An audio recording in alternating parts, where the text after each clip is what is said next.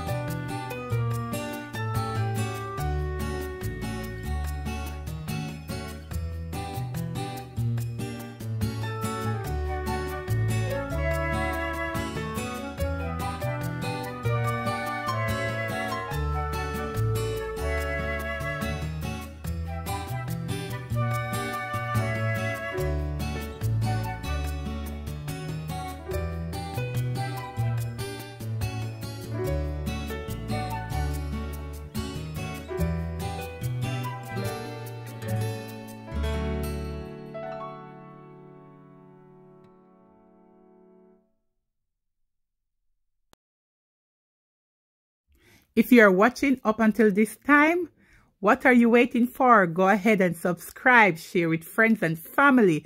To my return subscriber, guys, I appreciate you all. So guys, remember to leave me a comment and let me know what you think about this video. Share with friends and family. Tell a friend, Roxanne's Vybz.